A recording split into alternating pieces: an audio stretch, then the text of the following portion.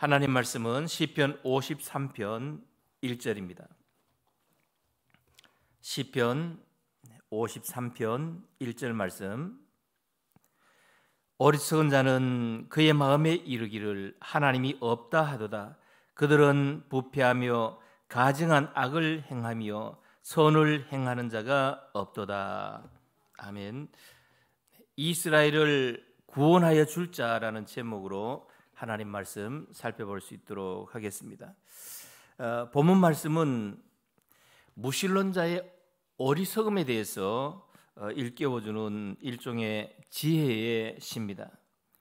5절을 제외하고는요 시편 14편 말씀과 네, 동일한 말씀으로 되어 있습니다. 어, 본문 1절 말씀에 보니까 어떤 사람이 어리석은 사람인가? 하나님 보실 때 어리석게 보는 사람이 어떤 사람인가 하는 것을 어, 말씀을 하고 있습니다.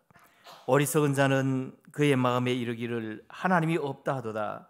그들은 부패하며 가증한 악을 행하며 선을 행하는 자가 없도다.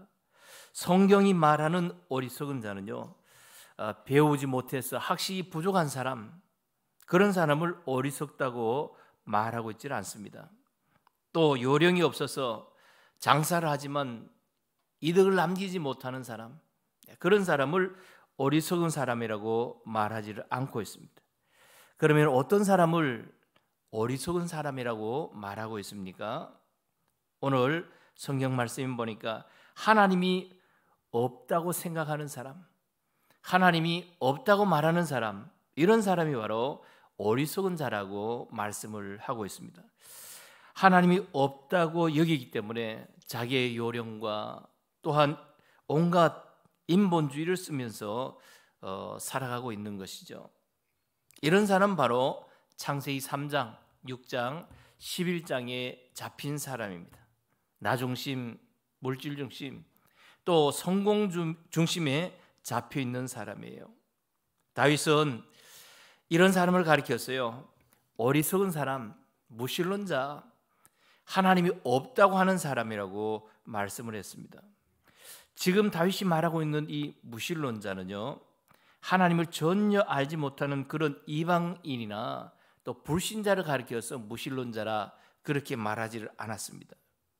다윗이 말하는 무신론자라는 것은 하나님의 백성이라고 자부하면서도요, 그 언행이 전혀 하나님의 뜻과는 관계가 없는 그런 사람을 어, 무신론자라고 표현하고 있어요. 다시 말하면 하나님의 백성이라고 하면서도 하나님이 살아계신 것을 전혀 어, 의식하지 못하고 하나님이 안 계신 것처럼 처신하고 행동하는 사람 이런 사람을 무신론자라고 이렇게 말하고 있는 것이에요. 당시에 이스라엘 백성들은 혈육으로는 아브라함의 후손이잖아요. 또 가나안 땅에 태어났어요. 이스라엘 백성으로 살아가고 있었습니다. 그러나 그의 행실들은 전혀 하나님과는 관계가 없는 하나님의 뜻과는 관계없는 그런 삶을 살았어요. 그래서 다윗은 이런 사람은 무신론자다. 이런 사람을 가리켜서 하나님 없는 사람이라고 말씀을 하고 있습니다. 오늘 이 새벽에 나온 우리 모든 우리 성도 여러분은 교회 안에서 무신론자가 되어서는 안 될 줄 압니다. 무슨 이야기입니까? 하나님을 믿노라 하면서도 하나님을 의지하지 않는 사람, 음, 이런 사람은 하나님이 없는 사람과 다를 바가 없어요. 오늘 우리는 육신을 가지고 살아가고 있기 때문에요. 이 세상에 살아가는 동안에는 문제도 있고 사건도 있고 또 어려움도 있을 수가 있는 것입니다. 복음으로 답이 났는데도 이런 일들이 닥쳐요. 그러면 어떻게 해야 되겠습니까? 그때마다 우리는 하나님 앞을 한 걸음도 나아가야죠. 살아계신 하나님 앞에 나의 문제를 놓고 아래고 하나님의 응답을 기다려야만 하는 것입니다. 하나님은 우리의 기도를 들어주시고 하나님이 분명히 살아계시다는 것을 우리에게 증거로 주실 줄 믿습니다. 이 시간 기도로 하나님 믿고 의지하는 정말 하나님의 살아계심을 체험하고 응답을 받는 모든 성도 되시기를 바랍니다. 자, 그러면 첫 번째로 생각해 볼 것은 어리석은 자의 특징입니다. 어리석은 자의 특징. 그들은 부패하며 가증한 악을 행하며 선을 행하는 자가 없도다. 네. 부패하고 가증하다 그랬어요. 선을 행하는 자가 없다 그랬습니다. 하나님의 존재를 믿지 않으니까요. 하나님 앞에서 악을 행할 수밖에 없죠. 여기 악이라는 것은 하나님께서 우리에게 구주로 보내주신 예수 그리스도를 믿지 않는 것이 악입니다. 하나님 분명히 살아계신데 그 하나님을 믿지 않고 의지하지 않는 것이 바로 악입니다. 어, 하나님을 믿지 않으니까 하나님의 살아계심을 체험하지 못하니까 의지하지 않고 또 하나님 없는 삶을 살아갈 수밖에 없는 것이죠. 그러다 보니까 3절인 보니까 각기 물러가 함께 더러운 자가 되고 함께 어울려 더럽고 추한 일에 자신을 내던진다는 이야기죠. 하나님이 없는 사람, 하나님을 의지하지 않는 사람, 그런 사람 끼리 또 이렇게 하나가 되어졌어요. 더큰 네, 악을 행하는 그런 모습을 보여주고 있습니다. 사절에 보니까 하나님을 부르지 아니하는도다 그랬어요. 하나님을 믿지 않으니까 하나님의 살아계심, 하나님의 전능하심을 믿지 않으니까 하나님을 찾지 않는 것입니다. 하나님을 믿는다고 하면서도요, 하나님을 부르지 않는 사람들이 있어요. 이런 사람이 바로 불신자와 다를 바 없는 것입니다. 하나님이 없는 사람과 다를 바가 없는 거예요. 오늘 하나님은 우리를 이 새벽에 하나님의 전으로 인도해 주셨어요. 하나님께 나의 모든 문제를 맡기고 부르짖도록 하기 위해서 인도해 주셨습니다. 하나님 분명히 살아계세요. 우리의 아버지 되십니다. 모든 문제를 해결해 주실 수 있는 분이세요. 그분 앞에 우리가 믿음으로 나의 모든 사정들을 아뢰 때에 하나님이 우리의 기도를 들어주시고 응답해 주십니다. 하나님이 우리 사정을 모르시기 때문에 내가 하나님 앞에 나의 사정을 아뢰는 것이 아니라 하나님은 내가 나를 아는 것보다도요 우리 자신을 더 잘 알고 계세요. 하나님이 하나님 되심을 하나님이 나의 아버지 되심을 믿고 하나님 앞에 부르짖는 겁니다. 그때 하나님은 전능하신 능력으로 우리의 모든 형편 처지를 살펴주시고요. 응답으로 함께 하실 줄 믿습니다. 하나님 분명히 살아계셔요. 하나님이 살아계신 것을 분명히 보여주고 계십니다. 로마서 1장 20절에 보니까 창세로부터 그의 보이지 아니하는 것들 곧 그의 영원하신 능력과 신성이 그가 만드신 만물에 분명히 보여 알려졌나니 그러므로 그들이 핑계하지 못할지니라 말씀을 했습니다. 하나님이 살아계신 증거를 우리는 자연 만물을 통해서도 보고 알 수 있다 말했어요. 아무도 하나님의 살아계심, 전능하심을 어, 모른다 할 수가 없는 것입니다. 하나님 분명히 살아계시기 때문에 절대 핑계할 수가 없고요. 우리는 살아계신 하나님을 믿고 의지하면서 그 하나님께 우리의 사정을 아뢰야만 하는 겁니다. 하나님 없는 어, 어리석은 자의 특징을 오늘 어, 본문 시편 53편에서 계속 말하고 있어요. 하나님이 없다고 하는 사람 어떤 특징을 가지고 있습니까? 3절과 4절에 보면요. 하나님을 떠나간다 그랬어요. 하나님 분명히 우리 곁에 계시는데 그 하나님을 등지고 하나님을 떠나가는 거예요. 그러다 보니까 선을 행하지도 아니하고 하나님을 부르지도 않는다는 것을 말해주고 있습니다. 그 다음에 2절인 보니까 함께 더러운 자가 된다 그랬어요. 다른 사람까지도 불신하게, 불신앙하게 만들고요. 더럽게 만들고 또 타락시키는 현실을 말하고 있습니다. 그리고 3, 어, 5절에 보니까 두려움이 없는 곳에서도 두려워하게 된다 그랬어요. 이런 두려움은요, 하나님을 알지 못하는 데서 비롯된 두려움이죠.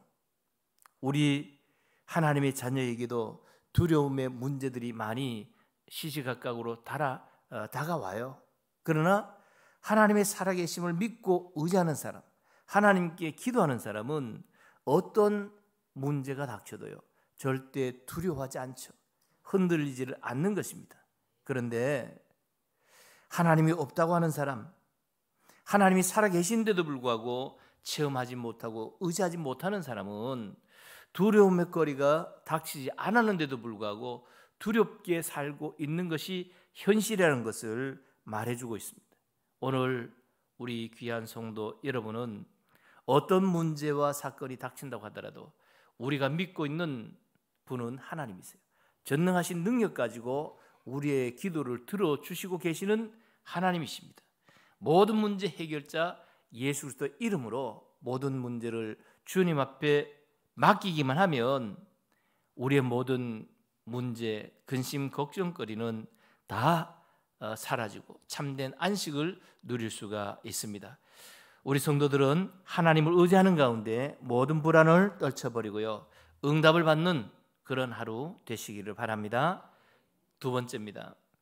이스라엘의 구원자예요. 이스라엘의 구원자. 어리석은 자의 치명적인 문제점은요. 구원의 하나님의 구원의 하나님을 믿지 않는 데 있어요. 분명은 분명한 것은 하나님이 살아계시잖아요.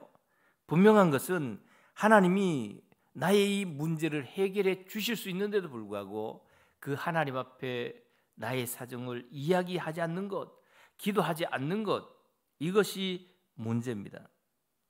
오늘 본문에서는 오직 우리 인생에 저와 여러분의 문제를 해결해 주시고 우리를 구원해 주실 수 있는 분은 전능하신 하나님 한 분뿐이신 것을 말해 주고 있어요.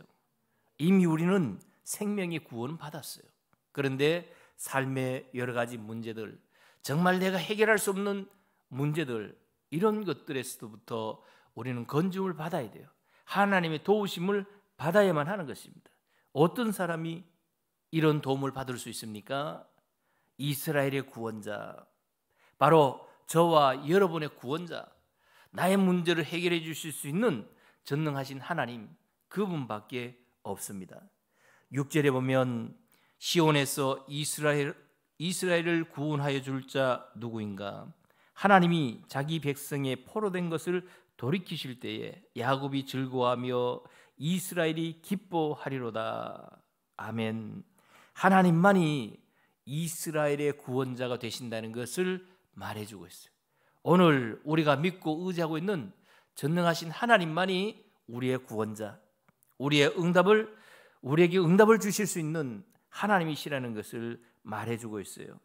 다른 길이 없어요. 다른 신이 없습니다.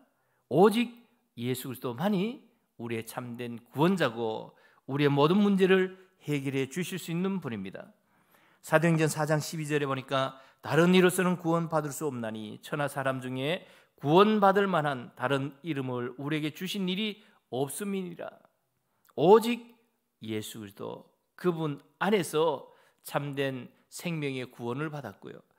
또 그 예수 그리스도 이름으로 기도할 때 모든 문제를 우리가 응답 받을 수 있는 겁니다. 이미 우리는 예수 그리스도 안에서 생명의 구원을 받았습니다. 요한복음 5장 24절에 내가 진실로 진실로 너에게 이르노니 내 말을 듣고 또 나 보내신 이를 믿는 자는 영생을 얻었고 심판에 이르지 아니하나니 사망에서 생명으로 옮겼느니라. 이미 우리는 구원받았어요. 구원받은 하나님의 백성입니다. 하나님의 자녀예요. 하나님 앞에 당당히 나가서 기도할 수 있고 우리의 어려움을 아랠 수 있고 또 우리의 요구를 말씀드릴 수가 있는 거예요. 그래서 이 새벽에 하나님 앞에 이스라엘의 구원자 그 하나님이 나의 하나님이신 것을 확신하면서요. 하나님 앞에 나의 사정을 아뢰 수 있기를 바랍니다. 그러면 요한복음 10장 28절 또 29절의 응답이 있게 됩니다. 내가 그들에게 영생을 주노니 영원히 멸망하지 아니할 것이요 또 그들을 내 손에서 빼앗을 자가 없느니라 그들을 주신 내 아버지는 만물보다 크심에 아무도 아버지 손에서 빼앗을 수 없느니라. 아멘. 네. 하나님 이미 우리에게 영생을 주셨어요. 하나님은 이미 우리에게 어, 응답을 주셨습니다. 오늘 하루의 생활 가운데서도 하나님이 주신 그 응답을 확인하며 사는 삶이에요. 이미 하나님 앞에 나온 여러분 무엇을 가지고 나온 줄을 하나님 이미 알고 계세요. 하나님은 이미 여러분에게 어, 응답하실 그 내용을 다 가지고 계십니다. 하나님 이미 나에게 응답해 주셨다. 나에게 주신 이 영원한 생명, 영원한 응답, 그 누구도 주님 손에서 뺏을 자가 없다는 것을 다시 한번 기억하시기를 바랍니다. 아무도 아버지 손에서 빼앗을 수 없느니라. 무엇을 못 빼앗습니까? 하나님이 구원해 주신 귀한 여러분의 생명, 흑암의 세력이 절대 취하지를 못하고요. 하나님이 여러분에게 주신 안겨 주신 모든 응답들 흑암의 세력이 앗아갈 수가 없는 겁니다. 오늘도 하나님으로부터 구원받은 하나님의 자녀들 하나님이 주시는 그 응답 속에서 기뻐하고 믿음으로 승리하실 여러분 믿음으로 한 걸음 한 걸음 나가시면서요. 하나님 앞에 기도하는 가운데 참된 승리의 주인공 되시기를 바랍니다. 결론적으로 말씀을 드리겠습니다. 자, 그러면 이스라엘을 구원하여 줄 자라고 말씀을 드렸는데 이스라엘을 구원하여 줄 자는 오직 예수 그리스도 한 분밖에 없습니다. 전능하신 하나님 한 분밖에 안 계시는 것이죠.